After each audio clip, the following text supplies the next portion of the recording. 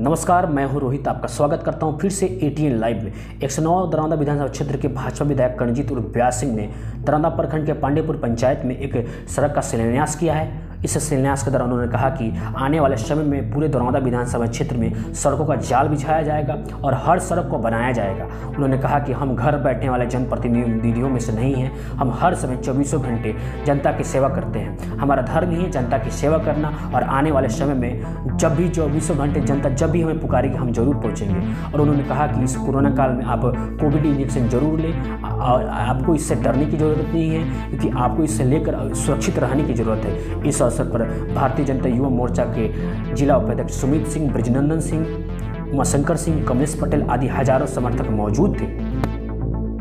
तो बताओ पिछला बार हमनी के लोग लोग पिछला बार चढ़े में बड़ी मोगल है?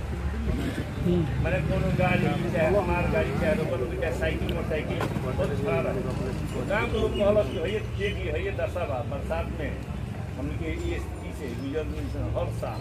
हमनी केहू पिछड़ नहीं। तो हम कहनी कि ठीक बा, चली, हम उनमें पाँच सौ मीटर रोड विधायक मत से लिख देंगे फ्रंट से?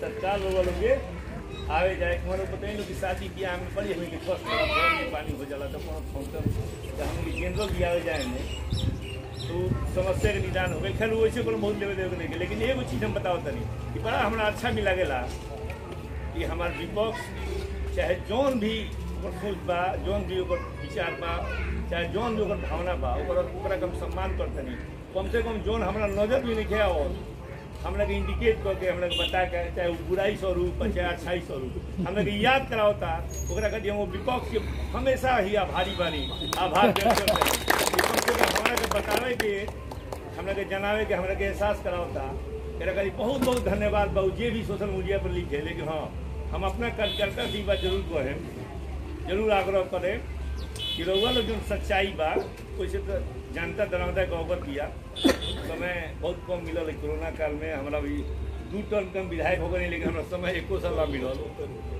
हाँ एकदम बीमारी बा। एमे सबसे पहिल काम बा हम सब लोग से लोग से आग्रह करतनी हाथ जोड़ के।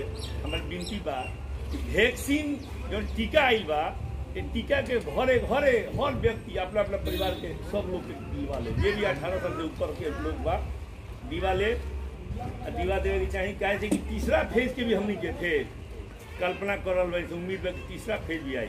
तीसरा फ़ेज़ जो आई, थोड़ा सा जो हमनी के देश के विज्ञान बा जो हमनी के साइंस के लोग बा, कह रहल बा कि वो और भी खतरनाक होई। इससे हम लोग के बार बार आग्रह करें कि टीका अपना अपना घर, परिवार, दोस्त यार रिश्तेदार जो भी बा, सबसे आग्रह करके मुफ़्त में टीका बा, कहीं आठों ना पैसा निकल लगे के।